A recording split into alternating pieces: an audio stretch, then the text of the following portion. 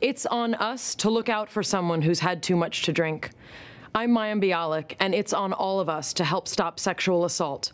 I took the pledge, and you can too, at itsonus.org.